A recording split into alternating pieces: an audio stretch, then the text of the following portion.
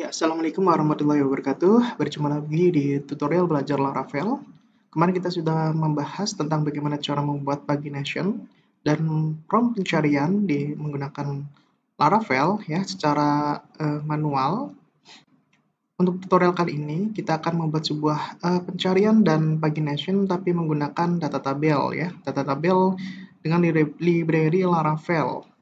Kalau biasanya kita menggunakan data tabel yang tersedia dengan Bootstrap, itu mungkin efektif kalau misalkan itu digunakan untuk meload data yang cuman uh, jumlahnya itu puluhan atau ratusan, tapi kalau misalkan datanya itu ribuan, bahkan ratusan ribu, bahkan jutaan, itu nggak bakal optimal karena pasti loadnya itu akan sangat lama ya.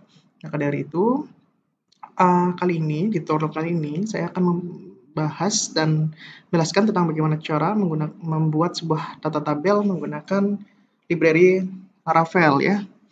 Jadi nanti kita akan membuat menu baru yaitu menu penjualan di mana nanti uh, saya mendapatkan data itu itu dari uh, aplikasi kasir saya. Mungkin teman-teman bisa mengunjungi uh, video YouTube terkait dengan aplikasi counter. Nah, di situ saya mengambil data penjualannya. Cuman ya, uh, di sini saya sudah memfilternya jadi kayak data total harga dan labanya sudah saya edit saya sesuai uh, karena ini termasuk data dari uh, toko jadi nggak boleh disebarluaskan. Itu kurang lebih jumlahnya 210.000 data nanti yang akan kita load menggunakan Laravel server side ya. Itu merupakan data penjualan. Oke mungkin langsung saja ya kita akan membuat sebuah menu dulu menu baru yaitu menu uh, penjualan ya.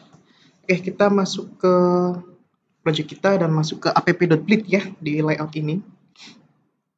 Oh ya, kemarin itu saya salah menaruh. Ini harusnya untuk uh, menu mahasiswa karena kita gunain ini ketika lah mengakses ini setelah login, maka taruhnya itu harusnya di bagian sini ya, di bagian sini ini setelah else ya. Jadi setelah uh, login maka nanti bisa mengakses menu ini itu untuk menu mahasiswa. Kemudian kita tambahkan satu menu lagi yaitu sorry taruh sini yaitu menu penjualan ya untuk menampilkan data penjualan yang jumlahnya itu 200 ribuan lebih penjualan. Oke, kita coba refresh. Ya, masuk ke sini ya. Kita buat uh, rootnya untuk penjualan. Oke, atau sebelum masuk ke pembuatan menampilkan data penjualan ini, kita ikutin itu ya, kita install library-nya terlebih dahulu untuk membangun Laravel server side ya. Di sini kita menggunakan library Yachira ya, di mana versinya itu sudah sampai versi 9.18. Caranya adalah uh, install Composer Require Yachira Laravel Database Oracle. Teman-teman bisa menginstalnya itu lewat cmd kemudian masuk ke uh, itu ya apa folder aplikasi ya.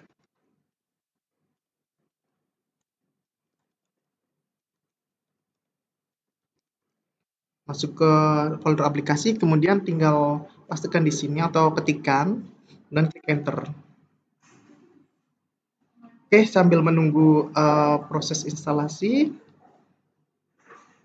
jadi uh, nanti kita juga akan membandingkan ya uh, data tabel biasa dengan data tabel menggunakan library Laravel ini.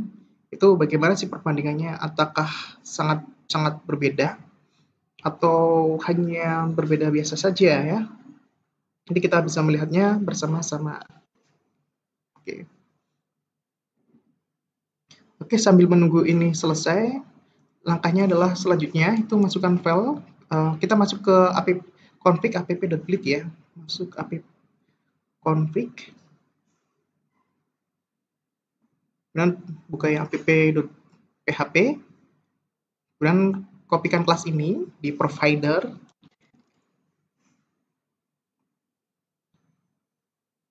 provider sini di bawah materi website ya. Oke teman-teman kalau misalkan ingin melihat tutorial belajar Laravel lainnya bisa kunjungin di part-part sebelumnya ya. Kemudian uh, masukkan data labels ini kelas ini ke aliases ya. Bagian bawah boleh. Oke. kita cek lagi ya, apakah sudah betul. Oh, belum. Oke, belum selesai. Nah, oke sambil menunggu proses instalasi selesai, kita langsung bisa buat styling data tabel ya di layout app.blit.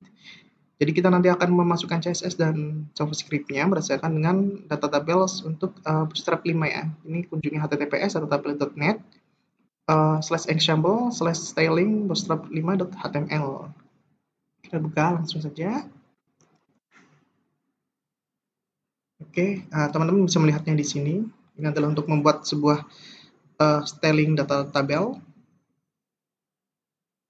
Oke langsung saja ya. Kita buka yang HTML dulu nah eh sorry CSS nah kita akan menggunakan uh, dua CSS ini teman-teman bisa langsung download kemudian ditaruh di uh, folder aplikasinya nanti di apa diincludekan data CSS-nya atau teman-teman bisa bisa langsung juga mengakses uh, linknya ini ya. Ini kita copy saja linknya ini. Dan kita masuk ke app.blit di mana ini adalah uh, master layoutnya. Sini. Nah, pastikan di sini dulu nggak apa-apa bagian sini. Oke, kemudian kita tambahkan stylingnya ini. Ini copy saja biar cepat. Nah, kemudian caranya itu, sorry HTTPS-nya ini di copy saja satu-satu ya, masukkan ke Href CSS-nya. Ini biar lebih cepat. Oke, kita hapus dulu ini. Oke, kemudian ini yang satunya lagi juga sama. Kopikan, pastikan di sini di Href ya. Kemudian ini differ-nya itu, uh, karena ini nanti akan kita gunakan, ini dihapus saja differ-nya ya. Oke, sudah, selanjutnya kita buka yang JavaScript-nya. Nah, di JavaScript-nya ini ada 3.js, ini di copy saja, sama. Kita taruh di bagian bawah ya, di bagian bawah sini. Ya, di bagian sini. Tuliskan script, ya. Uh, src. Kemudian pastikan ya, ini, uh, ini di copy kemudian taruh ke sini ya ke dalam src-nya kemudian yang lainnya juga sama di copy. Oke oh ya ini kurang hak ya, karena tiga kita buat satu lagi ya. Nanti tinggal di copy saja. HTTPS-nya ini.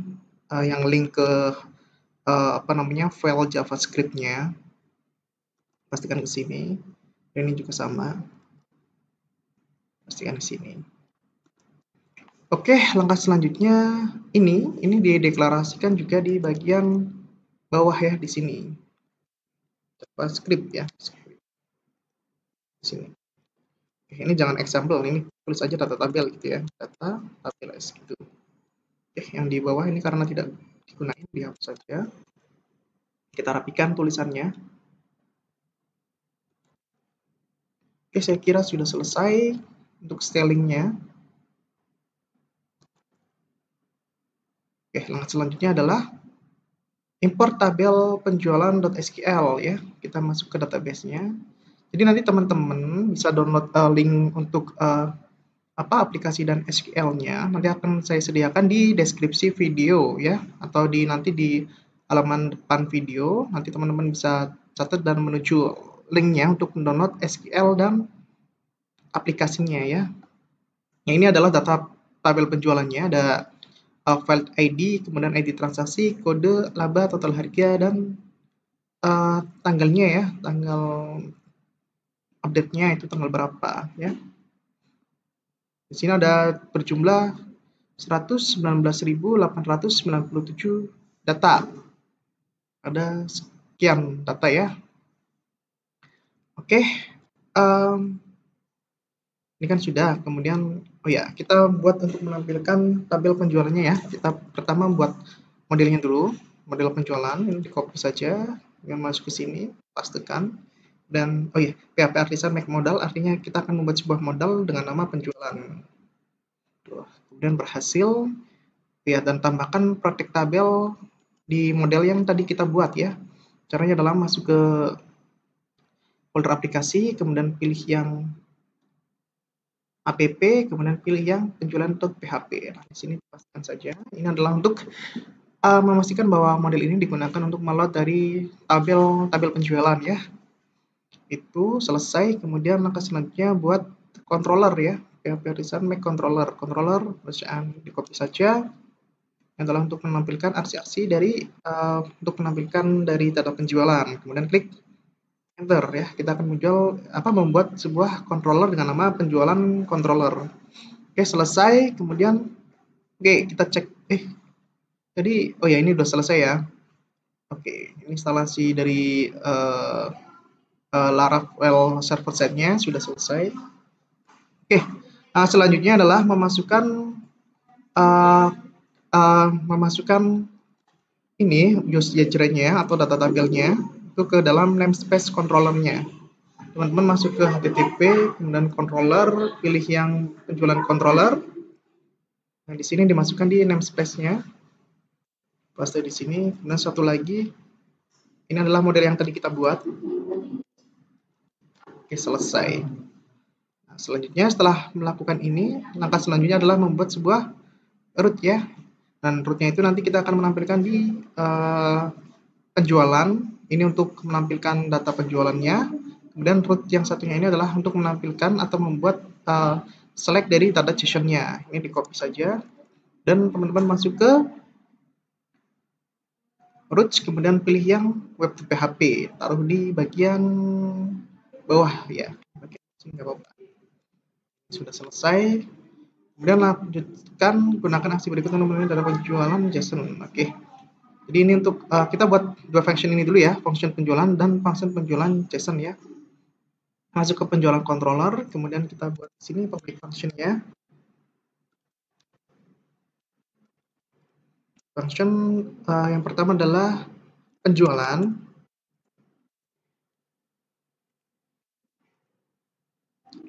Dan yang kedua adalah JSON ya. Public function JSON. JSON. Eh sorry. JSON. Oke, untuk JSON-nya kita pakai ini return data tables. Uh, ini adalah kelas data tabel yang tadi kita install. Kemudian penjualan limit 10 make true. Adalah untuk memanggil uh, data JSON dari tabel penjualan ya dengan limit 10 seperti itu. Oke, kemudian di penjualan ini kita tampilkan kita buat oke, kita coba tampilkan itu aja ya. Uh, datanya itu secara langsung ya. Kita buat uh, penjualan. Kita limitnya berapa coba? Misal kita tampilkan 100 data dulu ya. Kita tampilkan 100 data. Kemudian kita return view. Di mana kita masukkan ke penjualan. Kemudian kita deklarasi compactnya compact data. Ini ya oke selanjutnya kita buat uh, apa jadi sebelum kita masuk ke pembuatan Laravel server set ya, data tabel server set, kita akan membuat data tabel yang biasa dulu ya. Oke, kita akan membuat data tabel dengan data penjualan ini.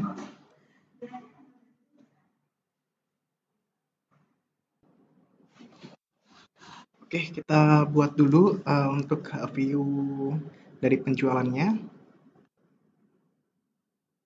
Kita copy paste aja ya dari yang sebelumnya kita buat, yaitu yang di mahasiswa.blit ini kita save as jadi penjualan penjualan.blit.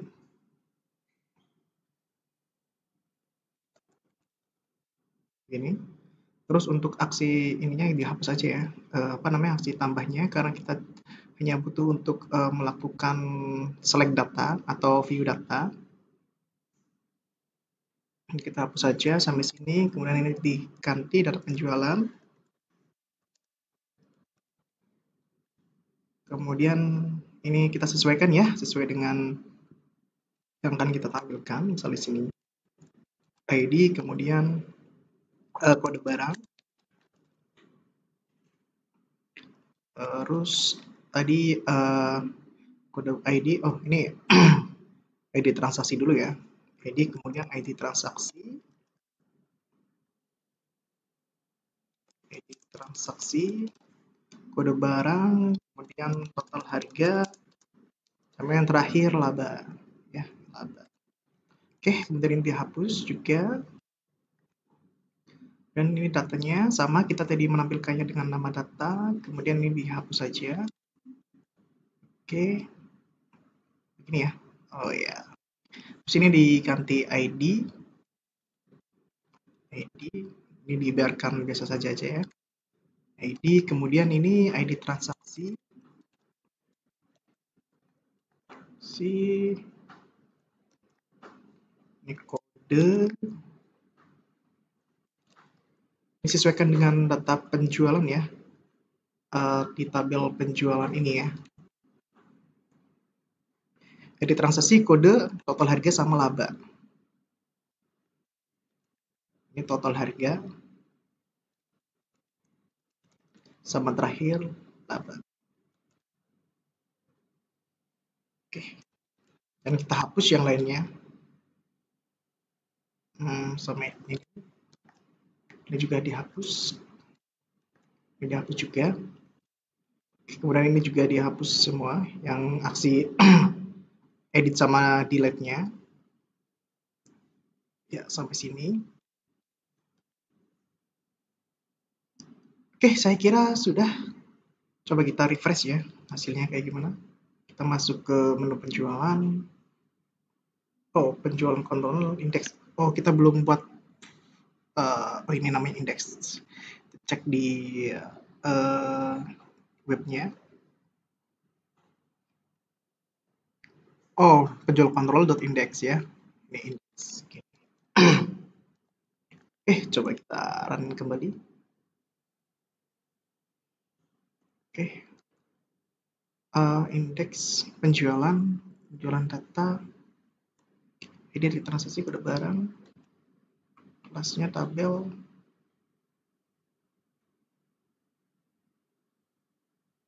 hmm. tidak muncul ID data tabelas tabelas begini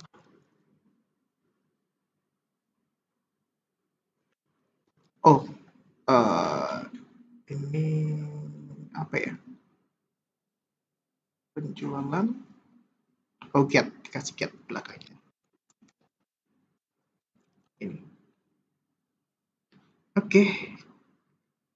ini coba kita running dengan berapa ya? 100 data ya. Ini 100 100 data ya. Teman-teman bisa melihatnya di sini. Kalau ini kan tadi ID ya bukan nomornya jadi jumlahnya beda kalau di sini 161 ini di sini 100 oke coba kita ini berapa kecepatannya? Lumayan cepat. Coba kita tampilkan 1000 data ya. 1000 data. Lumayan lama. Kita tambahkan 10.000 data. Nah, 10.000 data. Nah, ini kan lumayan lama tuh. Tuh, tuh, tuh, tuh. Lama banget kan untuk 10.000 data. Kita coba, kita get all semuanya. Apakah masih Nah ini aja yang 10.000 data masih ngelotnya lama sekali ya. Karena memang kalau misal pakai data tabel yang biasa itu akan terlot itu semuanya. Semua data itu akan terlot. Ya sebanyak berapa puluh ribu yang akan ditampilkan ya nanti akan dirun semuanya. Tuh. misal kita all tampilkan semuanya. Kita harus menunggu berapa lama? Nah masih muter-muter terus. Oke ini kita bandingkan dengan uh, server side ya kita bandingkan dengan server set. Ini butuh waktu. Nah, kita masuk ke penjualan untuk membuat server set. Ini tidak perlu kita deklarasikan. Atau gini kita tampilkan kita buat di menu baru ya penjualan server set gitu ya. Kita buat menu baru aja penjualan server site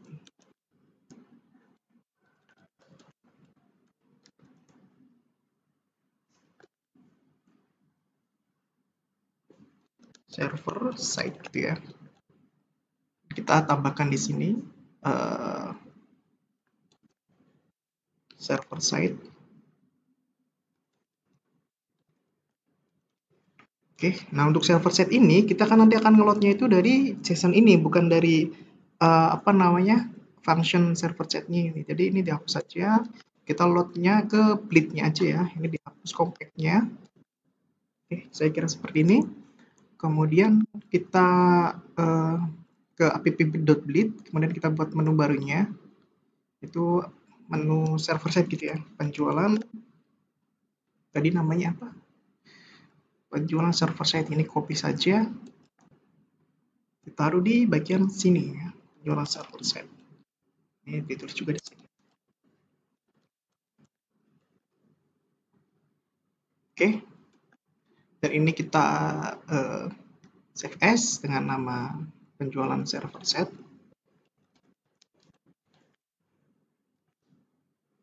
Oke. Ini juga sama. Ini ya, coba kita buka dulu. Ah, ini kan seberapa ini? Uh, 119.897 data di load itu sangat lama sekali ya. Kalau misalkan kita menggunakan yang database biasa. Oke, kita coba Uh, jadi untuk membuat server side itu kita akan menampilkan itu dari uh, data JSON-nya. Jadi ini dihapus saja yang for each-nya. Ini kemudian kita uh, buat function JavaScript-nya. Oke, kita deklarasikan data. Nah, ini jangan lupa, ini kita akan mendeklarasikan JavaScript dari ID data tables. Ini di copy saja, teman-teman bisa uh, apa namanya di stop dulu videonya, kemudian diketikkan secara manual bisa untuk mempraktikannya. Jadi saya akan terangin.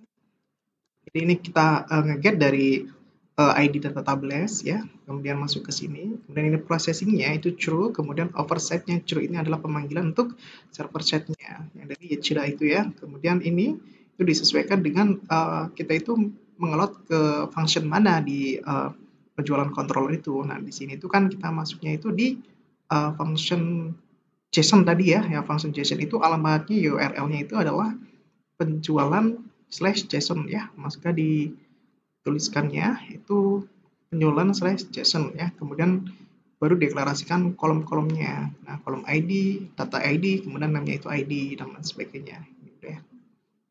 Oke, kemudian kita running saja di kita kalau refresh kelamaan ya, kita ke mahasiswa dulu, kemudian kita klik yang penjualan server set. Nah, ini menampilkan 119.897. Kita coba refresh berapa lama. Dep, dia ada satu detik. Ya, beda sekali kalau misalkan kita menggunakan yang data tabel biasa. Nah, ini loadingnya lama sekali. Ini tinggal refresh, langsung tampil. Nah, itu terkait dengan bagaimana cara membuat data tables Laravel uh, server side menggunakan uh, library Yachira ya. Mungkin itu terkait dengan video tutorial kali ini. Bila ada salah kata, saya mohon maaf. Terima kasih. Wassalamualaikum warahmatullahi wabarakatuh.